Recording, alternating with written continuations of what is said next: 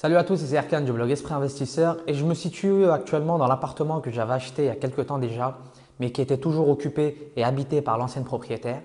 Donc elle vient de libérer les lieux et j'ai pris possession euh, du bien. Et donc euh, aujourd'hui, il est 7h30 euh, du matin et j'ai exactement trois rendez-vous avec des sous-traitants, avec des artisans pour faire des devis évaluer les travaux et deux rendez-vous avec des banques pour parler à crédit immobilier. Donc je vais vous faire un petit tour des lieux et bah, comme à mon habitude, je fais le point avant les travaux et après les travaux pour voir, euh, bah, pour, voir pour que vous puissiez voir l'évolution.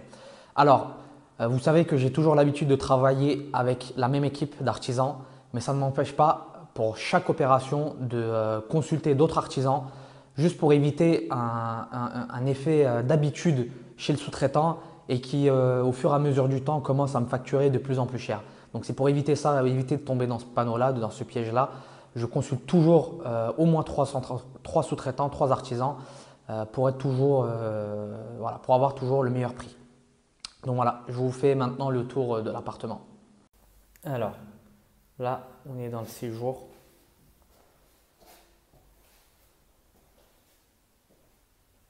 Donc, je ne sais pas si vous voyez, mais les murs sont imbibés d'humidité.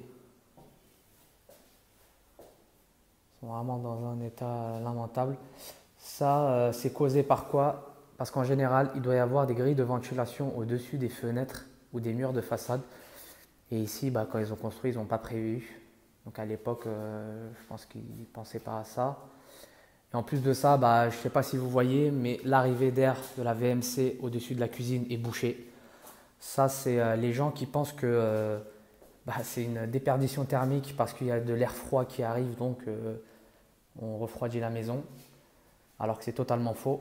Euh, un air chaud, un air humide est beaucoup plus difficile à chauffer qu'un air, euh, qu'un air sec. Et en plus de ça, bah, c'est, un, nid à bactéries. Hein. L'humidité, c'est ce qu'il y a de plus mauvais pour les enfants. Ah Je suis à l'entrée là. Y'a qui Ça va toi? Ça va. Euh, t'as l'entrée dans le Non, non, je ne l'ai pas, je l'ai pas. Bah, débrouille-toi. Hein. Bon, là, on voit le sol qui sera changé. Le plafond, dégueulasse. Là, c'est une chambre. on voit bien hein, l'humidité euh, qui commence à, à ravager les murs. La peinture qui se décolle super, euh, super papier peint, les murs, les toilettes, rien d'extraordinaire.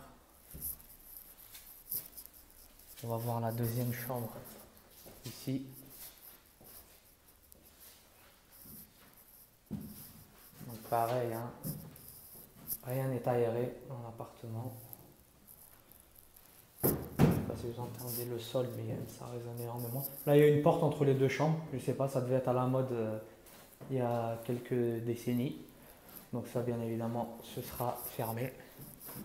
Un parquet flottant, euh, j'appréhende de, voir ce qu'il y a en dessous.